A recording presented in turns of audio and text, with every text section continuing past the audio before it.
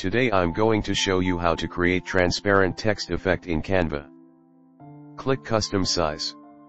Create a new design.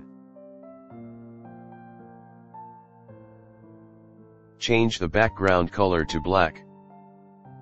Go to elements. Go to shapes. Choose the square shape. Change the color to white. Resize it. Go to text. Add a heading. Type Sea of Clouds. Make the letters uppercase. Change the font. Move it up. Change the color to black. Move to the center of the page. Also move the square shape to the middle of the page. Resize it.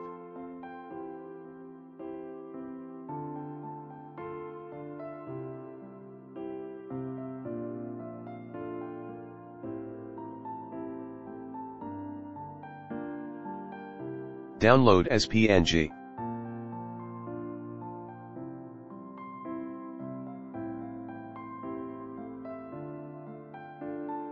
Upload it. Add page.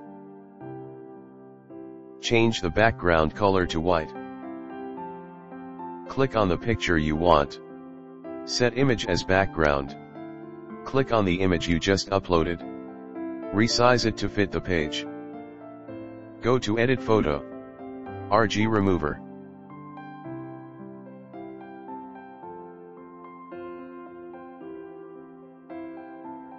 Here is the final result. Finally, click share in the upper right corner to download.